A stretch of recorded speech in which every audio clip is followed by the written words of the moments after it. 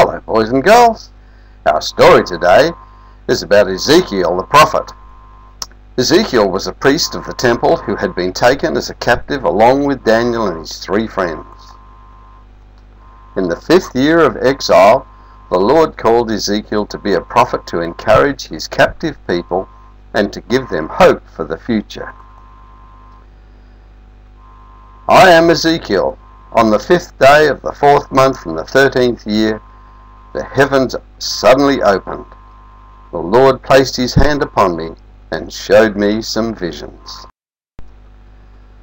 The Lord God said, Ezekiel, son of man, Israel's leaders are like shepherds taking care of my sheep, the people of Israel. But I want you to condemn those leaders and tell them, I, the Lord God, say you shepherds of Israel are doomed. You take care of yourselves while ignoring my sheep. The Lord God then said, I will look after my sheep and take care of them myself, just as a shepherd looks after lost sheep. The sheep have been lost since the dark and miserable day when they were scattered throughout the nations. But I will rescue them and bring them back from the foreign nations where they now live.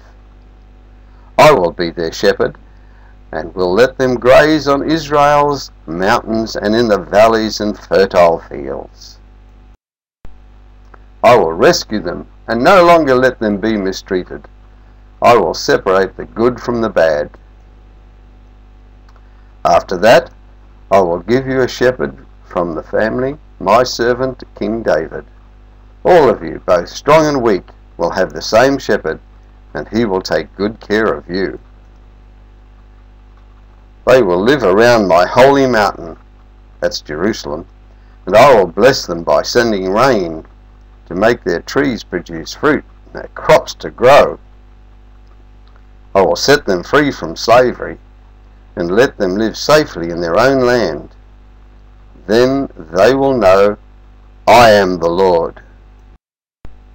Jesus said in John chapter 10, I am the good shepherd, and the good shepherd gives up his life for his sheep.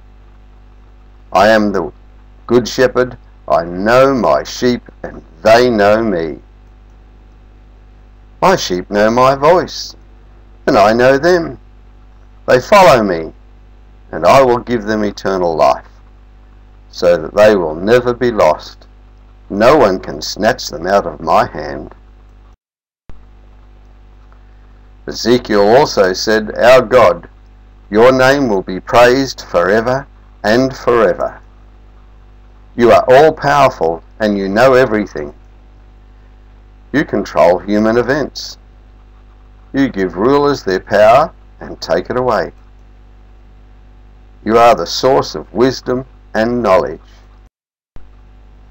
Peter the Apostle wrote, then our Lord and Saviour Jesus Christ will give you a glorious welcome into his kingdom that will last forever. John the Apostle wrote in Revelation 21 and verse 1, I saw a new heaven and a new earth. The first heaven and the first earth had disappeared, and so had the sea.